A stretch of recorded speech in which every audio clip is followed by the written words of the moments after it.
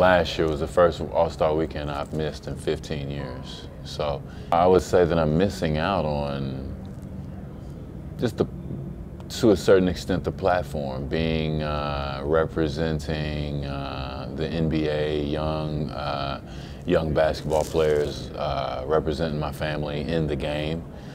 Uh, that's always a fun thing. But for the most part, I don't see it as missing that much. It's kind of, I've done my time, I've done my things you work so hard to be an all-star and guys deserve it but whew, let me tell you something. If i was playing right now yeah i would still probably try to be an all-star